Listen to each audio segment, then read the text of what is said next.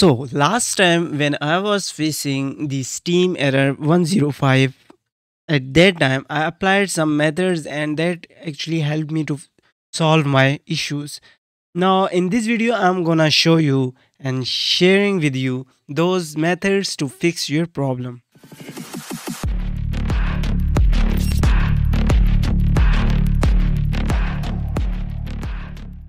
Now first of all, do you know that um, Steam have a browser? Of course, a lot of people know that, but if you don't know, just let me show you here. It's all happening because of DNS bugs.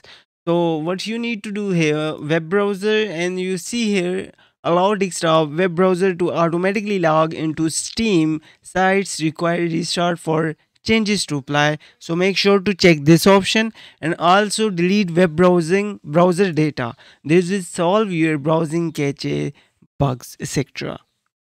Once you done this, now just minimize your Steam and this time we will clear all the DNS and internet connection issues from your PC or from your Windows. It's more better to pronounce the Windows.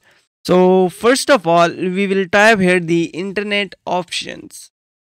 Just open the internet options and then you will see here the browsing history. Just check this option and click on delete. Check all the options and click on delete, hit apply, okay. Now the second thing you can do here, now there's two method.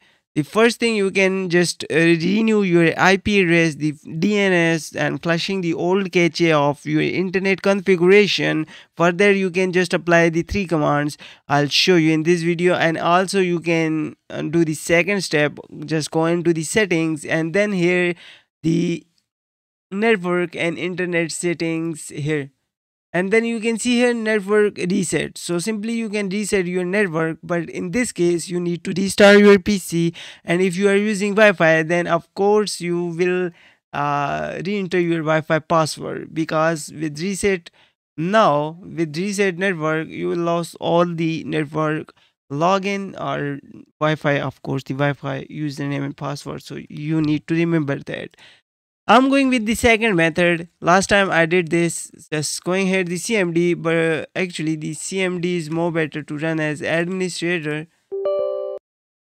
Once you launch this, you need to type here the ipconfig slash release and hit enter. Again, ipconfig slash renew. Hit enter. Now, this will help you to clear your old IPs from your PC and register the new IP configuration from your uh, router. Now the second command ipconfig slash flush DNS. Now your old DNS will be flushed and of course you need to register the new one. So ipconfig slash register DNS. So that's it. That's a simplest way you can solve your problem with this. And uh, register of the DNS uh, resource records for all adapters of this computer has been initiated any error will be reported in the event viewer in 15 minutes. So that's it. In 15 minutes you will get an error if uh, there's any issue with your DNS or something else with your network configuration. Otherwise you can just access your PC like you can browse anything on Steam or on your browser. Now if you still have any question just let me know in the comment section. I'll get back to you as soon as possible for me. Till then just take yourself. Allah hafiz. Bye bye and yeah don't forget to subscribe